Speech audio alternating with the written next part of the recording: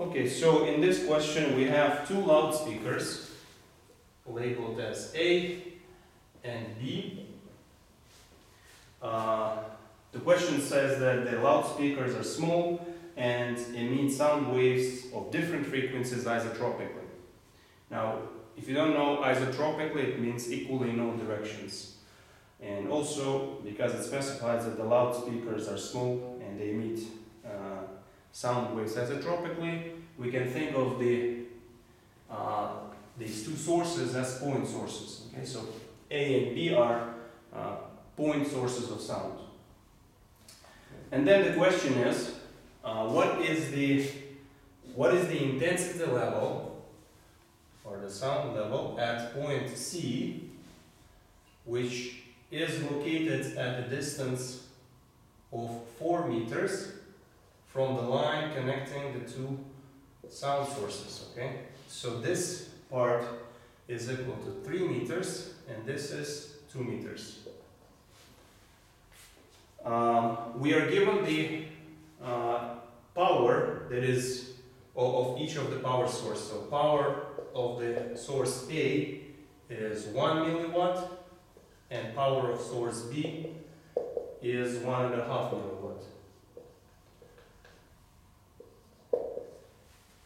So in part A of the question, uh, we need to find the intensity level in decibels when only the A is turned on. So B is not working, just A is working.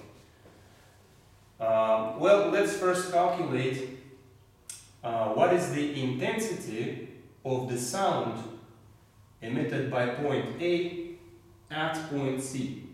Okay, so we know that A is a point source, so we can use the expression for the intensity uh, of a point source of sound.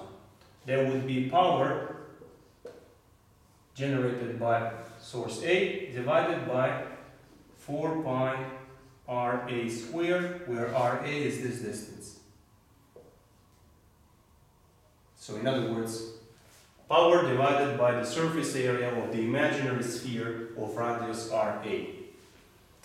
So let's go ahead and calculate that. So that's 1 times 10 to minus 3, 4 pi.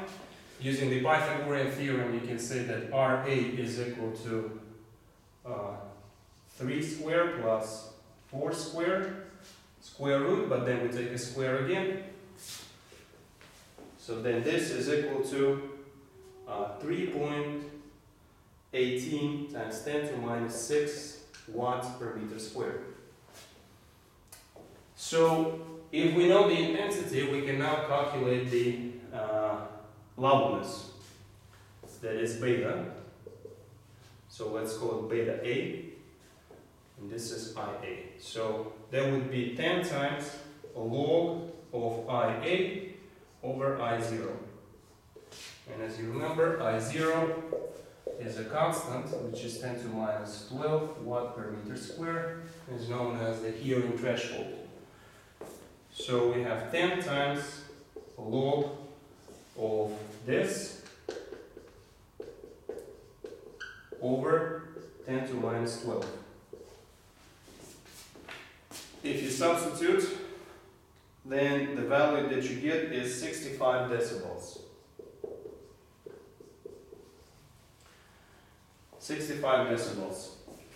Now, part B is asking what will be the answer, what will be the loudness if only B is working and A is not working.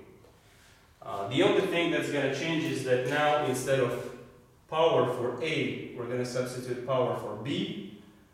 Distance for A, we're going to substitute by distance of RB. So this number will change. Instead of 3, we will have 2. And so instead of this intensity, we're going to get a different intensity, which I will write here. It's exactly the same calculation. So 5.97 times 10 to uh, minus 6 watt per meter squared. So once we know the intensity uh, at point C created by the source B, we can substitute it in this kind of equation again, and calculate beta B. So you just change IA by IB. And if you do that, uh, you will get 67.8 decibels. And now, the second part, uh, sorry, the last part is asking us to calculate uh, the loudness when both speakers are turned on. So both A and B are working. Now, you may be tempted to say that uh, we can calculate the total power by just adding the two powers, uh, but that would be wrong. Uh, what you have to add, you have to add the intensities of both speakers at point C. Okay, so if we know the intensity for B and for, for A and for B, we can just add them up.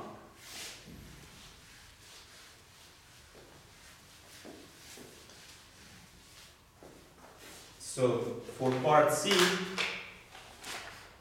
loudness beta would be equal to 10 times log of the sum of the two intensities divided by I0. So instead of adding the powers, we are adding intensities. You can't add the powers. So this is then equal to 69.6 decibel. And that's it.